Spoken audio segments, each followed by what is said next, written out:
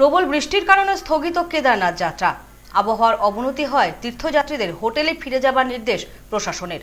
জারি করা হয়েছে কমলা সতর্কতা। চারধাম যাত্রায় তীর্থযাত্রীদের মৃত্যুর সংখ্যা বাড়তে থাকায় এমনিতেই দুশ্চিন্তায় ছিল স্থানীয় প্রশাসন। এবার প্রবল বৃষ্টির কারণে কেদারনাথ যাত্রা স্থগিত করল উত্তরাখণ্ড সরকার।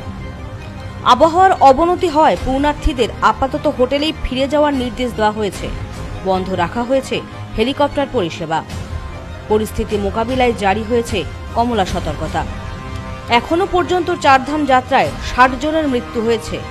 জানা গেছে, মৃত তীর্থযাত্রীদের মধ্যে বেশিরভাগই উচ্চ রক্তচাপ ও ডায়াবেটিস রোগে আক্রান্ত ছিলেন। ইতিমধ্যেই প্রশাসনের পক্ষ থেকে বারবার তীর্থযাত্রীদের অনুরোধ করা হচ্ছে, শারীরিকভাবে অসুস্থ থাকলে দীর্ঘ যাত্রায় অংশ না নেওয়ার।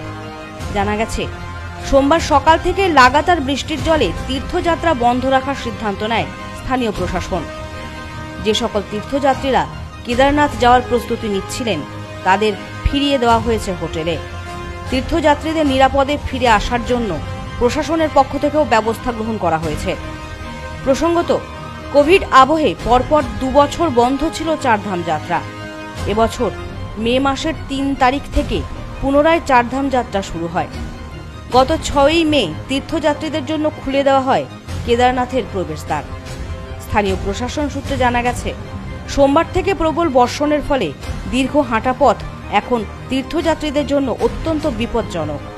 যার ফলে কোনো রকম ঝুঁকি না নিয়েই তীর্থযাত্রীদের হোটেলে ফিরে যেতে অনুরোধ করা হয়েছে প্রশাসনের পক্ষ থেকে। দুর্ঘটনা এড়াতে অনির্দিষ্টকালের জন্য বন্ধ করা হয়েছে কেদারনাথ যাত্রা। Bureau report news no man's land Uttarakhand.